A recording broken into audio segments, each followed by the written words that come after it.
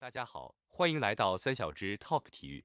乒乓球澳门世界杯激战正酣，北京时间四月十七日晚，国乒奥运冠军樊振东登场迎战中国香港队名将黄镇廷。结果樊振东在一比零领先、提前出线的情况下，没有放飞自我，最终还是三比一锁定胜利，由此而取得小组第一的名字，成功晋级男单十六强。近期樊振东的表现不是很理想。内外战输给王楚钦、林诗栋、于果等人。作为世界杯男单四冠得主，期待他能在接下来的淘汰赛中有出彩的发挥，争取创造新的五冠历史纪录。黄镇廷是当今乒坛少有的直拍打法高手，曾排名世界前十，赢过许昕等名将。不过，作为一位即将满三十三岁的老将，他的状态早已大不如从前。何况这次面对的还是国家队的核心主力，普遍认为樊振东晋级的概率会更大一些。在之前的小组赛中，樊振东四比零拿下了德国的杜达，而黄镇廷却一比三输给了杜达，所以樊振东已经形势大好，而黄镇廷得四比零赢樊振东才有出线的可能，难度实在太大，不好打。比赛开始后。樊振东利用横拍对付直拍的优势，两面打一面，压制黄镇廷反手，调动对方正手，或者即便调不动，直接打长球相持，也能赢得主动权。黄镇廷虽然在不断落后的情况下奋起直追，但后半段完全不是对手，结果被樊振东以十一比五拿下首局。事实上，这个时候樊振东已经提前出现了，因为他之前四比零胜杜达。而黄镇廷是一比三输杜达，黄镇廷除非四比零横扫樊振东，否则根本没希望晋级。第二局，樊振东明显打得很松懈，虽然一度领先，但很快被逆转。黄镇廷则是放手一搏，享受比赛，随即以十一比八扳回一城。第三局，樊振东重振旗鼓，以十一比八拿下。第四局，樊振东没有再给黄镇廷机会。最终以十一比七结束战斗，大比分三比一锁定胜利，成功晋级男单十六强。目前看来，新赛制在小组最后一轮的确容易让许多运动员懈怠，因为提前晋级或出局的人非常多，已经知道结果，再继续的实战意义不是很大，值得国际乒联反思总结。乒乓球澳门世界杯迎来一场焦点对决。日本奥运冠军伊藤美诚再次登场迎战美国选手王爱米，最终双方恶战四局后，伊藤美诚二比二战平。坐镇场外指导的母亲伊藤美乃里也无可奈何。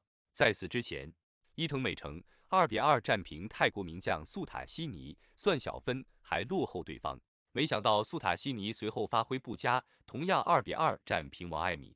如今伊藤美诚又和王爱米二比二战平。最终算小分后，素塔西尼成为赢家，晋级女单十六强。伊藤美诚爆冷止步小组赛，的确竞争激烈。本次比赛，伊藤美诚在首轮的表现并不理想。作为本小组成绩排名最靠前的运动员，她上来就差点输给了泰国选手素塔西尼。虽然最后大比分打成二比两平，但算小分却落后于对方。原本大家都以为伊藤美诚会凶多吉少。不过紧接着，王爱米送了他一份大礼，二比二战平了素塔西尼。所以接下来伊藤美诚只要能四比零或者三比一战胜王爱米的话，就成为小组第一，晋级十六强淘汰赛。但谁也不敢保证他会不会爆冷被打成二比二或者一比三，甚至是零比四，比赛存在悬念。比赛开始后，伊藤美诚在首局打得非常出色。很快便利用自己的反手生交速度优势压制王爱米。此外，他的发球也给对手制造了很大的威胁。王爱米不是直接失误，就是接出机会被伊藤美诚抢攻。最终，伊藤美诚以十一比三轻松拔得头筹。第二局，伊藤美诚状态暴跌，结果被王爱米轻松拿到七个局点，最终四比十一败北。看来王爱米之前能战平素塔西尼也是有实力支撑的。如今伊藤美诚也要压力山大了。第三局，伊藤美诚务必要拿下，否则哪怕是二比二战平，也存在被淘汰的可能，更别提一比三败北了。重新投入战斗后，伊藤美诚的状态开始回升，但却在两度领先的情况下被追平。浪费三个局点后又十比十一落后，不过最终还是十四比十二拿下，重新掌握了比赛的主动权。第四局，伊藤美诚发挥不佳，又开始落后比分。关键时刻，王爱米没有守住优势，被追到九平。但伊藤美诚随后十比九反超没拿下，最终十比十二败北，结束战斗。算小分输给素塔西尼被淘汰。此外，作为种子选手被分到第六组的国乒陈幸同，首场比赛表现不俗，不费吹灰之力横扫了来自台北的刘欣颖。将晋级的主动权掌握在了自己的手中。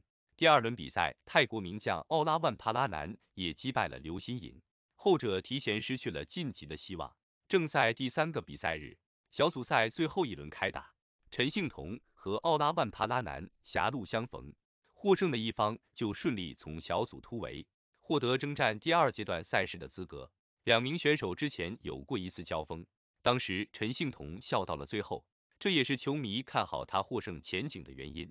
比赛开打之后，陈幸同火力全开，在先赢两局的情况下，重蹈王艺迪的覆辙，最终二比二和帕拉南打成了平手。第一局，右手持拍的陈幸同和左手持拍的奥拉万帕拉南，这一场比赛进入状态都非常快，首局一上来就展开了多拍的对抗，二人也都在积极调动对手。不过陈幸同的单板质量。和节奏的把控明显要强于对手，这也是他早早取得五比一领先的原因。在奥拉万帕拉南艰难再得一分后，陈幸同又开启了连续得分的模式，轰出一波三比零之后，已经把领先优势扩大到了八比二。